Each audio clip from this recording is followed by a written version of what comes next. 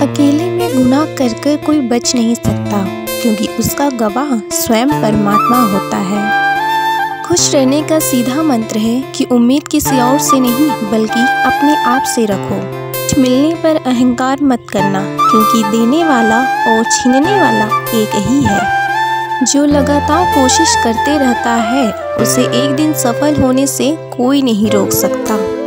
जब तक लक्ष्य प्राप्त न हो जाए, तब तक शांत रहो। जब सफलता मिल जाएगी तो वो खुद ही शोर मचाएगी। हे आत्मा, दुनिया के साथ भले ही तुम दिमाग का रिश्ता रखो, लेकिन अपने परमात्मा के साथ हमेशा दिल का ही रिश्ता रखना।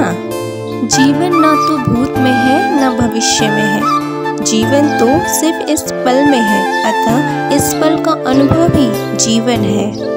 तुम्हारा खुद के ऊपर विश्वास ही तुम्हारी सबसे बड़ी ताकत है। तुम बस अपने कर्म करने पर ध्यान दो।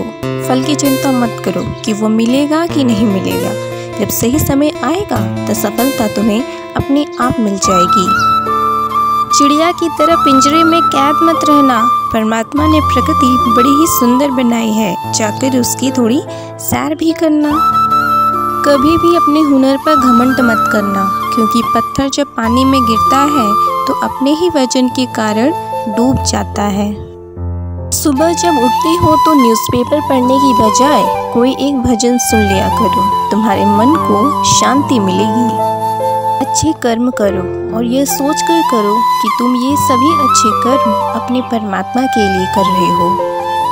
अपने माइंड को प्रेजेंट मोमेंट में रखिए। वीडियो को लाइक और चैनल को सब्सक्राइब कीजिए। मिलती हूँ मैं आपसे अपने अगले वीडियो में। कृष्ण कृष्ण।